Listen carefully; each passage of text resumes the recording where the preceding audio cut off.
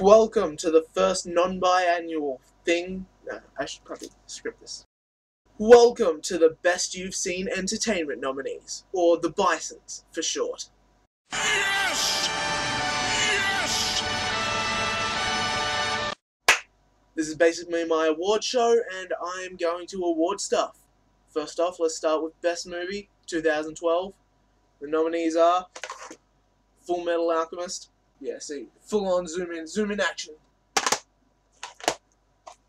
Batman, and for some reason that is still in its plastic casing, which means I should probably watch this at some time. And of course, Ted. Wait, this is Family Guy. Same thing. And the winner is Full Metal Alchemist. Do you know why? Because I paid $600 for this thing right here. I'm going to give you a close up of that right now.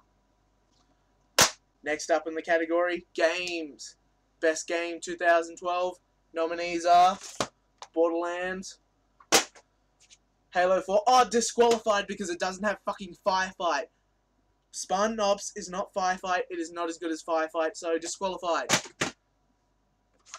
Transformers, War for Cyber, Fall of Cybertron because War for Cybertron is a completely different game. And because that's only two nominees because Halo was disqualified, Alan Wake, the complete book edition. Now, why is this nominated? Well, correction, why is this winning? Because this one won, by the way. Alan Wake, Best Game 2012.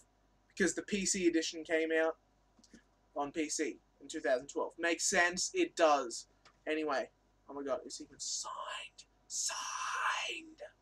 You can't see that. Signed! DLGC, downloadable game content. The winners are. Not the winners. The nominees are. The entertainment nominees. The best you've seen entertainment nominees are. Modern Warfare 3. Why? Hear me out. It did DLC right. Call of Duty Elite. Pay whatever money and you're part of the service. Now, basically, what we did was we paid to be part of the beta test, but if you got the collector's edition, it was free, along with all the DLC that came out for the year. So I didn't pay anything for the DLC, so that's a real big boost on my front. But either way, one DLC pack per month for an entire year. It was a multiplayer map, a Spec Ops map, and achievement. Achievements. It had achievements, and that is why I loved it. That is why it is nominated. And of course, Pandaland, World of Warcraft. It's downloadable game content. It is pretty damn good, if I do say myself, because who doesn't love Kung Fu Panda? I know I am impartial to it. And the last nominee, which, considering how much I've talked about it, you can pretty much guess which one's winning. So, the last nominee is Sonic Adventures 2 Battle. Because I waited so long for that to come out after they put Sonic Adventures 1 on XBLA. And I'm assuming it came out on PSN as well, and maybe Steam. I don't know. I don't care. I got my Sonic Adventures 2 Battle finally after like three years waiting for it to come out, and honestly, it wasn't that good. I mean, it's a good game, it just doesn't hold up. Shadow the Hedgehog is best hedgehog. I would totally fuck him and let him fuck me. So, um, I've pretty much stated it already, but Modern Warfare 3 wins the DLGC award for 2012 even though it technically came out in 2011. Next category would be Best Meme of 2012. Nominees are YOLO, because you only live once, and it has to be nominated for that. Because YOLO, huh? YOLO. YOLO, I'm riding YOLO, I'm riding YOLO, I'm riding YOLO, YOLO! Right, next nominee is Ray William Johnson's Black Baby, because he had a black baby. Apparently that's a meme. Congratulations. It's a girl. I just want to take a baby who happens to be black and throw it. And you guys know that here on Equals 3, we don't tolerate child endangerment. We take that very serious. Anyway, I gotta go take care of some business, and I'll see you guys in a few days. Somebody throw me my black baby! Ah! Third nominee, Cutting for Bieber.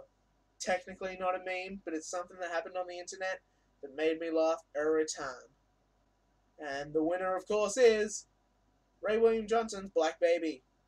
Wait, what? What? This this is ridiculous. I can't believe that bloody bullshit one. Someone give me a Black Baby. This isn't technically a Black Baby, but it'll do. Alright, now moving on from the racism. Second last category Best publicity for anything.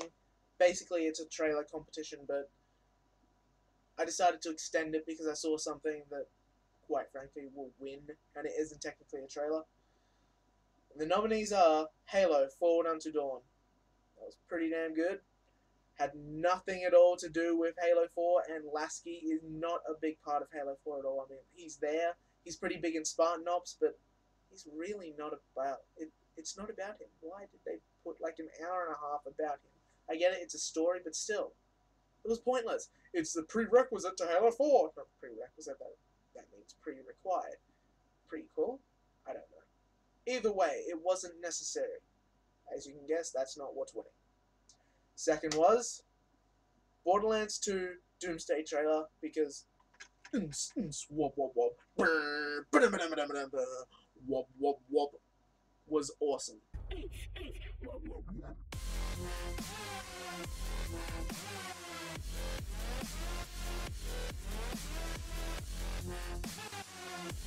And the last nominee is Darksiders 2. Why? What did they do?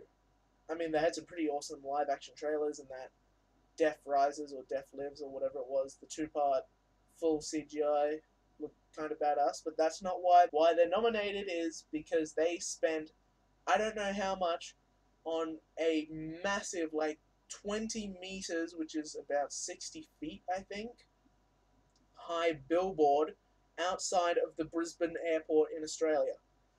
I mean, it's just not worth it. They that company went bankrupt and they were spending I don't know how many thousands a day on that huge billboard which couldn't have gotten many sales, especially not at the airport to Australia.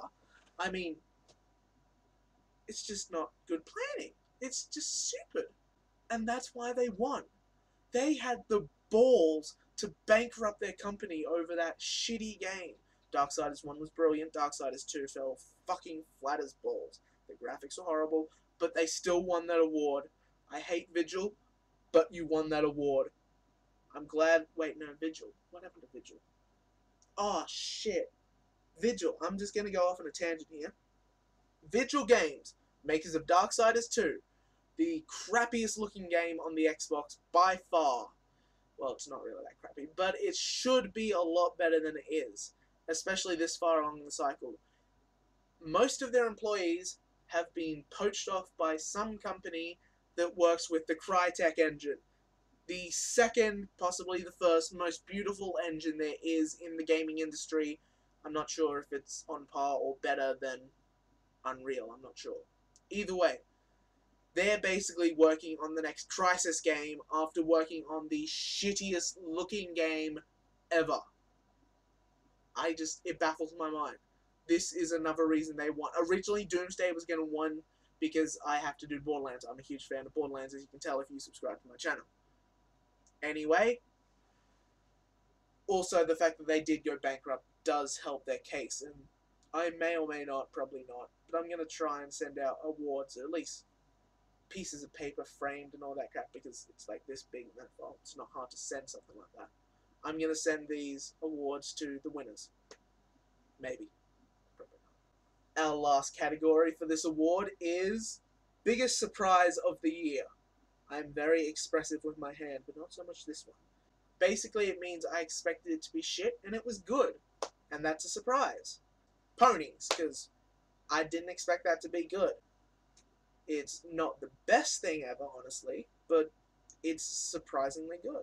Like, I did not expect it to be good, and that's how this is categorized. And the nominees are Lollipop Chainsaw, which I also have to admit I only got into because of Ponies and Tara Strong, but it was on my radar before that. I would have bought it once it was a bit cheaper instead of buying it the day it came out.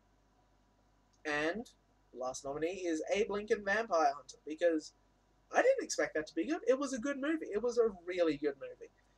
And obviously, looking at this channel, wait, there was one more nominee. I forgot what it was because I don't have these written down. Oh yeah, now I remember. It was this. Fall of Cybertron Transformers. Also, this is Soundwave. Anyway, Soundwave. Because Soundwave.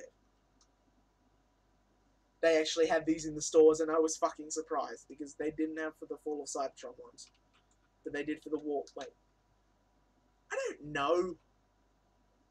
And the winner is, you'll never guess because look at my channel. The winner is Abe Lincoln. Surprised you didn't know. You were expecting Pony. Ponies is good. It's not the best thing out there. Abe Lincoln, I expected that to be complete shit. It was a good story. It was a good movie. The graphics were good. It wasn't over the top CGI, but it was CGI. It was in the slow motion axe throwing bit. That was alright. I think I'm only thinking of that. It was a good movie. I'm surprised. And that is the best you've seen entertainment nominees. Yes!